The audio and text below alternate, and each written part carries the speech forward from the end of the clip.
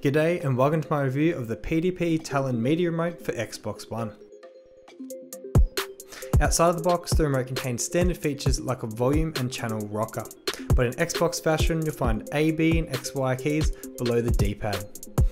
Flip it over on the back you'll find a soft touch material and once removed there are slots for AAA batteries.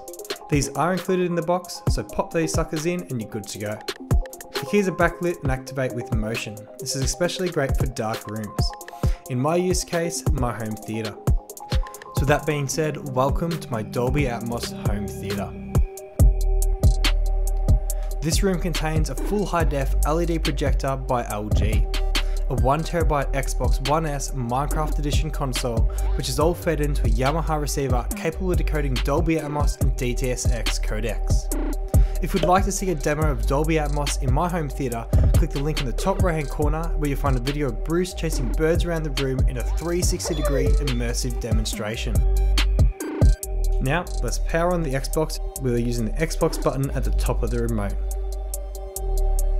Here you'll find that the Xbox is using its IR blaster as a universal remote to signal the other devices in the room to start up. To set up the universal remote feature, go to settings, select power and startup, and power mode and startup.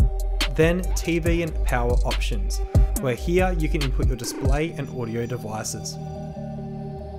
This allows the Xbox to control volume as well as turn devices on and off.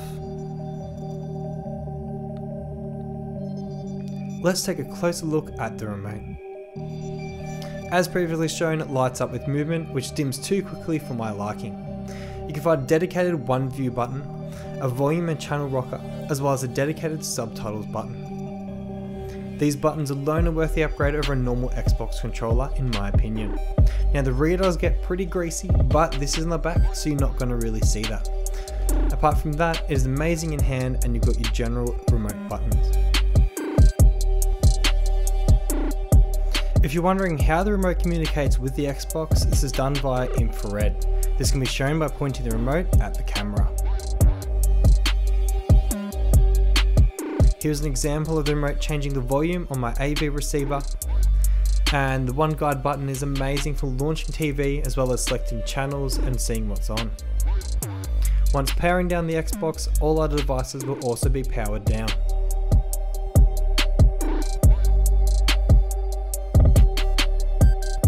And finally, thank you for watching. I'd greatly appreciate it if you could click subscribe as I'm aiming for 2018 subscribers by the end of the year. Once this goal has been reached, I'll do a giveaway on the channel for subscribers only. Have a great day and I'll catch you in the next video.